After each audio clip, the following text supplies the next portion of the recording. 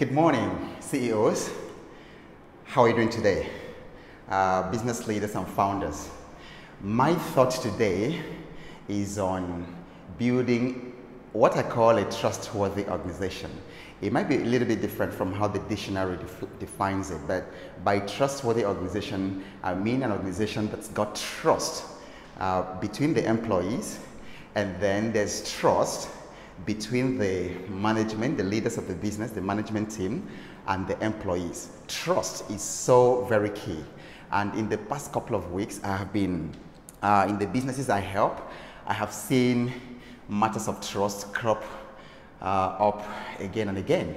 So the question is, how do you build a trustworthy organization? How do you build an organization in which trust is key?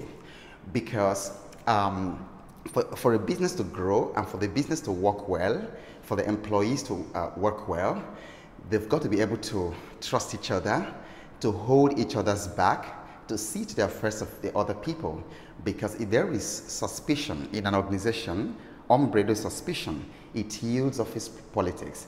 And then if there's something that bleeds the performance of organization as much as possible, um, it is um, unbridled office politics. Of, of, course, office politics must happen, but when it really gets very dirty, um, it, it, it, creates a very um, uh, toxic environment for people to, um, to, to grow. So the question is, how do you build a trustworthy organization? How do you build an organization where um, there is trust? So one is that you yourself must first of all actually be a trustworthy leader. And then secondly, you must build an environment where people can thrive in trust and can trust each other.